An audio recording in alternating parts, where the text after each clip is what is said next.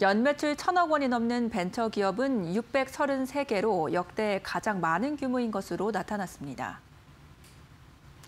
중소벤처기업부에 따르면 지난해 말 기준 벤처 천억 기업은 2019년 말 617개사 대비 16개 증가한 633개사로 조사됐습니다. 이 가운데 올해 처음으로 매출 천억 원을 달성한 기업은 62개사입니다. 업종별론 마스크 제조 관련 기업 등 섬유 기타 제조업이 16개로 가장 많았고 의료 제약 업종이 뒤를 이었습니다.